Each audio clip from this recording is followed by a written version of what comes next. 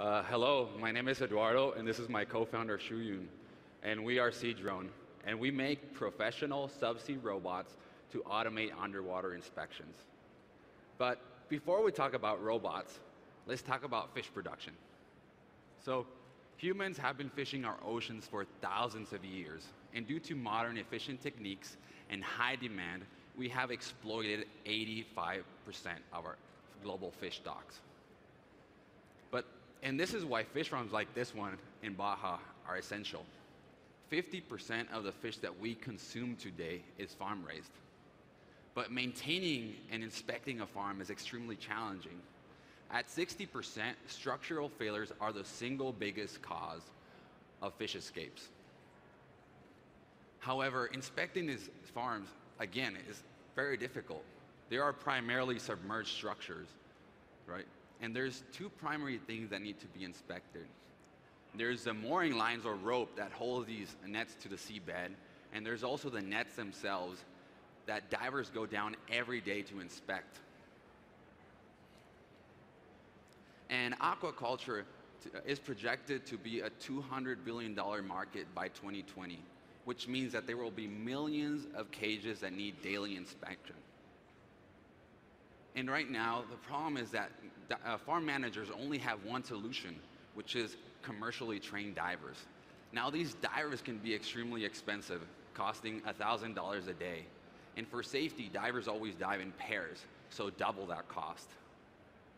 Now, absolutely the worst part of all this is that when these divers come out of the water, they're taking notes on paper. Now, all this information is, this method is very imprecise and often critical information the structures is missing. So, and actually even worse is that the farm managers still have to transcribe all these paper notes onto digital documents that they have to submit to regulatory agencies. So there's a huge opportunity to make fish farming both safer and more efficient all at once. And that's why, judges, we're building Sea Drone, which is, thank you. Um, so Seadrone uh, we're taking lessons learned from aerial drone to make an underwater robot that is very intuitive to pilot. It's very easy to maintain It costs a fraction of existing solutions. So here are a few specs. So Seadrone only weighs five kilograms, so it's extremely portable. Now, we've designed Seadrone from the ground up with uh, very easy to replace thrusters, and it has a gimbal camera with a 200 degree vertical field of view like you would find in an aerial drone. And one of the coolest parts about Sea Drone, it actually can hold its ground in very strong ocean currents. So now to talk about how a farm manager would use Sea Drone, here is my co-founder Shuyun. Hi, I'm Shuyun. Today I'm the fish farm operator. So let me show you uh, how Seadrone can help my work. Can you help me to switch to, yes. So now let's say we already dropped the sea drone into the water and we turn on the app. So now I'm ready to pilot the sea drone. So I can move forward, backward, and then the cool thing is I can immediately know what kind of the inspection tags I have today. I need to inspect the anchor one, anchor two, uh, anchor three, net one, net two. So let's start with the anchor one.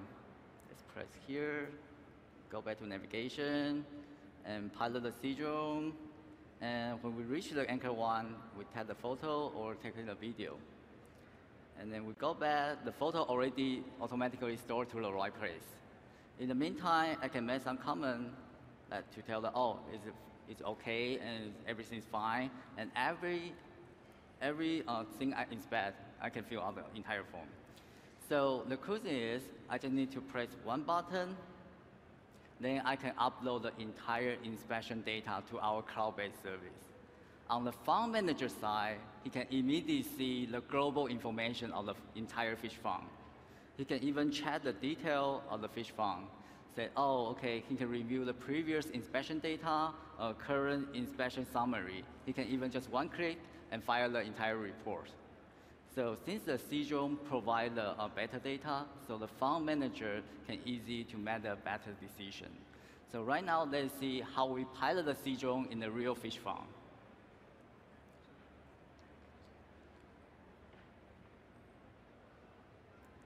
Okay, switch to another. Oh. oh, sorry, go back. Okay, so what you are watching is our pilot study in Baja California, in Mexico. So uh, the operator is operating the drone and to follow the net, taking the photo, taking the video, capture all the uh, sensor data. Uh, in the meantime, the drone is also very good uh, at inspect the, uh, the mooring line. And since the sea drone can go to the 100 meter depth, it's also very good to inspect the things in the deep water, especially like the, the anchor or uh, those things that the uh, diver cannot easy to reach. So even though we're starting with a very exciting market of aquaculture, there's other opportunities. So we've been contacting with people that need under boat inspection that could use something similar. There's also distributors that are dying to have a low-cost solution that has a higher technology in oil and gas. There's also other un- under type of underwater infrastructures like dams and bridges that need to be inspected regularly.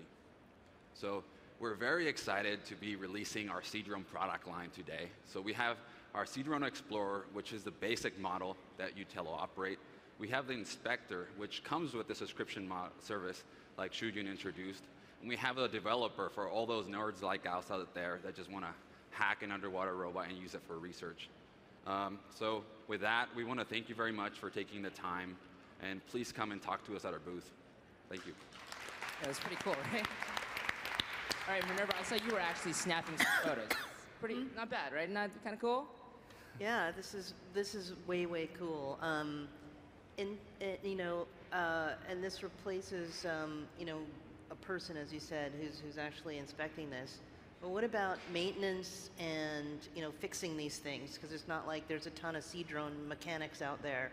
So when you start getting a lot of these in the market, how would you address that? Well, actually, that's actually one of our main innovations. So if you look at quadcopters, what they've managed to do is two primary things. So they managed to lower the price point and made the entire system very easy to use and maintain. So what we've done is actually instead of knowing how to replace these mechanical parts and fix them, we made them replaceable. So for example, our thrusters, uh, you grab them and throw them away. You don't need to know anything that's going on inside. So we lower the price in such a way that we that now you can do that.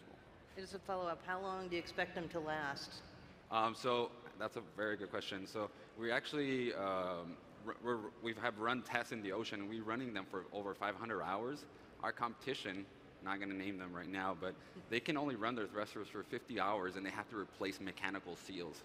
So we're using brushless motors that you find in these aerial drones, and found a way to waterproof them. How much is the how much does it cost? So the, the product range, uh, the cost uh, range, so for Explorer is starting about 2,500, and we're going down up to three, 35. However, the Inspector is kind of our our uh, number one uh, uh, robot, and that one's uh, around the $3,000 range. Of course, we have that sort of subscription service. And- And by comparison, when I'm in Baja hiring two guys to go scuba dive for 20 minutes, how much does that cost me? Um, actually, Baja, that's it's not that expensive. So right now, the reason we're actually doing that pilot study is just for proximity, and uh, the farm managers there are extremely open to tech and they're very helpful. Uh, but actually, biggest markets for us is actually Canada, uh, UK, Japan, and and actually even Chile, because they, they still have to send divers in uh, extreme depths that are very dangerous, and they actually have a lot of fatalities every year just doing this, this these jobs. I noticed there was a tether. Is there an untethered uh, autonomous option? Well, that's another good question. Actually, we are working on that. Um, so, for the, the tethered version is prim- That's the one that we're launching today. That's primarily for uh, these deeper uh, inspections where divers cannot go. Our untethered version, um, and we're working on this. Uh, and his background is on on SLAM. So. Uh, we're actually creating a map. So we, you throw the robot into the net and it operates kind of like a Roomba. So it goes around, it does a spiral pattern, and we actually create a map that now the farm manager can view. Yeah, I don't know. You Yeah, so that one's untethered. Got it. yeah. You mentioned you do have some direct competitors. Are there other indirect previous submarine type vehicles before drone technology was applied this way that you'd be competing against? I assume it's cost prohibitive, but Yeah, so actually the well the, the hard part for us is actually not necessarily we're, we're not looking so much at the competitors. Um, as, because what we're really focusing on is making the best robot and, and lowering the threshold of operation. So right now, there's a job title called an ROV pilot, and there's a ROV maintenance, right? So if we're making the robot so you don't need to maintain it, and we're lowering the threshold of operation like you have with aerial drones. So now, you know, uh, some, somebody with less skill can operate these, and that's why we're expecting will expand the market. Are there other markets other than fishing that you'll be going after initially, or even what would be your next market? Um, so because there is an existing market for these type of robots, uh, we're looking into uh, using these distribution channels that already exist. And they're primarily selling to oil and gas and to municipalities to inspect these underwater structures. The reason we're starting with aquaculture is because it's a newer industry that's growing very fast, and the existing companies, they're not keeping up. They're not fast enough. The robots they design, they, they're not designed right for aquaculture. So now we've been able to make a robot that fits very well into their requirements. Jonathan, did you have a question? Yeah, just, just to give you some brief context, I've been fishing once in my life. I got motion sickness. I threw up everywhere, and the people who I was riding in the boat with were so mad at me they made me swim back to shore. So, so take this with a grain of salt. But I'm, I'm just curious. You mentioned in the beginning it's a 200 billion dollar market. How much of that is directly related to what you guys are doing? Yeah, so it's actually That's uh, in the so a rough estimate uh, four to six percent of that uh, is being used on inspection.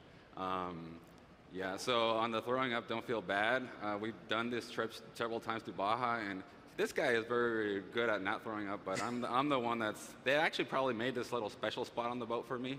Yeah. You know, so At least they didn't make you swim back to shore.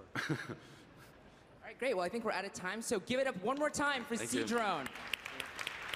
And they, like I said, they are the final startup in this session. So one last round of applause for our awesome judges. And uh, we're gonna go backstage. They're gonna deliberate, and we'll be back in a few minutes with more startups.